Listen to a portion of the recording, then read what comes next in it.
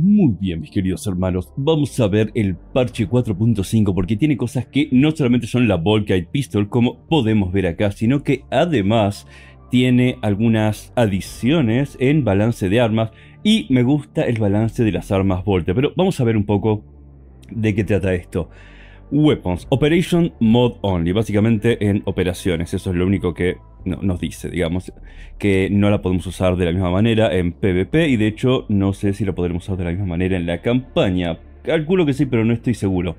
Lo que hicieron fue básicamente mejorar esta arma, le pusieron un buff a varias armas en la cual mejoran, digamos, la cantidad de calor generado por los disparos normales y por los disparos cargados. Y esta arma ya es una buena arma, el Plasma Incinerator. No se confundan con el Plasma Pesado, este es el Incinerator, la que usa el estratega o el táctico, dependiendo en qué idioma lo tengan. Ahora, esto es interesante porque el Bolt Sniper Rifle es mi arma predilecta para jugar con el sniper porque, ah, no sé, me encanta volarle los sesos con una bala física y que se vea que explota la cabeza y no con el láser ese que básicamente no me gusta porque punto. Em, pero mejoraron el arma, ahora es más viable. No solo la mejoraron a términos de que tiene más cadencia de disparo, que no cambia mucho, realmente no noté la diferencia a términos del cambio del rate of fire, pero sí noté la diferencia en daño. Y en este tipo de armas es muy importante porque puede hacer la diferencia entre dos disparos o tres disparos. Y el daño que le aumentaron es bastante, porque en los headshot, y siempre que apuntar a headshot, el daño se incrementa de por 2 a por 2.5, lo cual es un daño bastante más grande. Por lo tanto, les diría que si son usuarios de Sniper y les gusta los Sniper a la vieja usanza,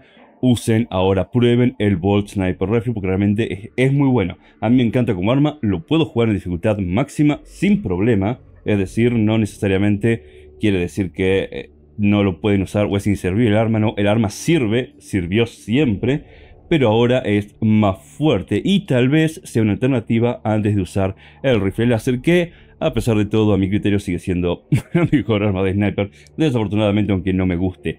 Cambiaron mucho el Oculus Bolt Carabine. Esta la puede utilizar el Vanguard. Y creo que solo el Vanguard, solo el Vanguard me parece que usa esta arma. Pero la cambiaron muchísimo porque tiene ahora un zoom. Y el zoom es muy preciso. Esta arma tiende a tirar de cerca, es decir que de lejos no hace tanto daño, pero es básicamente como tener un bolter de precisión automático ahora.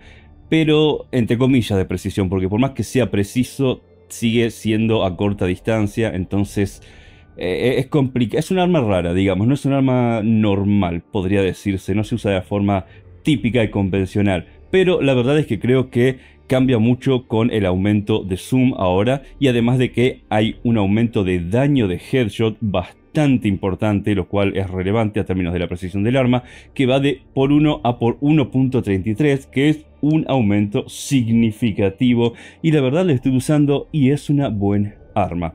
El inconveniente con el Vanguard es que tenemos el rifle de fusión. Y siempre vamos a preferir usar rifle de fusión porque básicamente destruye absolutamente todo pero si sigue mejorando los volters, tal vez los terminemos utilizando. La Volt Carabine, bueno, no veo ningún lugar en el cual realmente pueda utilizarse este arma, si les soy sincero. Em, básicamente lo que cambiaron en este caso es el fall of del damage, o sea, el daño, la pérdida de daño a medida que pasa la distancia. Entonces básicamente le hicieron más letal a corta distancia y es menos letal a larga distancia. Lo cambiaron, ajustaron un poco eso. No creo que valga la pena probar esta arma, pero si a alguno le gusta, bienvenido sea para intentar usarla. Y después tenemos el Autobot Rifle que básicamente lo que incrementaron es la munición en un magazine.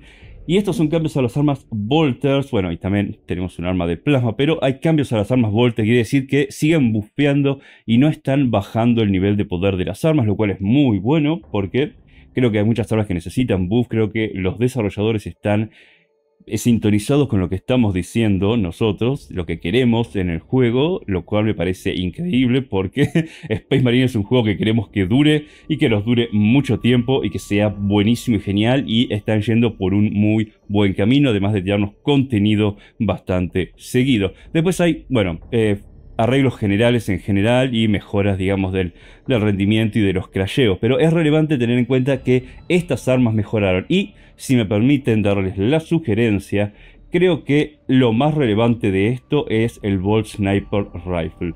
Porque hay muchos que juegan con Sniper, que juegan solamente con una opción que es el rifle láser, y la otra no les sirve o no les gusta.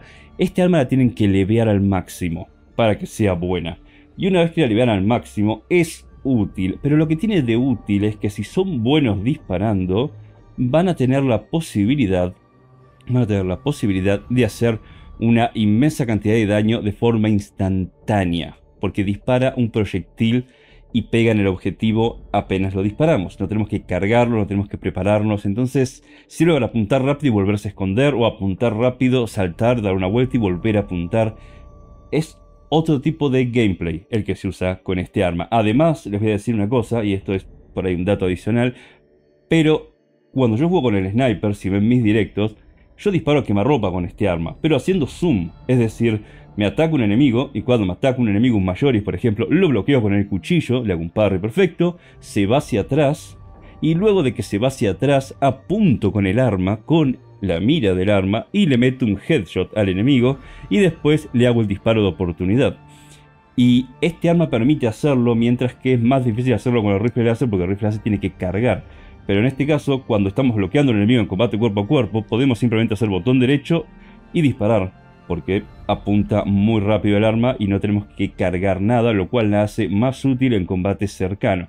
Den una oportunidad a esta arma, se lo sugiero, y si les gusta jugar con otro arma que no sea el rifle de fusión, el Vanguardia tiene ahora el Oculus Ball Carabin, que realmente está mejor. Diría que la prueben y que vean si les gusta o no. A mí me gusta el feeling del arma, aunque realmente no veo que haya mejorado mucho. Díganme qué les parece Dígame qué les parece esta mejora de los Volters y la inclusión de la pistola volquita, que voy a hablar sobre la pistola volquita en un video próximo porque no es muy buen arma. La verdad es que no es muy buen arma. La pistola volquita, vamos a ser sinceros, no es la gran arma. No hicieron una cosa increíble con esta arma, a pesar de que la venden como el arma super épica que destruye absolutamente todo. Pero eh, más allá de eso, que no es un buen arma, eh, de por sí, por lo menos por lo que probamos ahora, creo que están en la dirección correcta, digamos.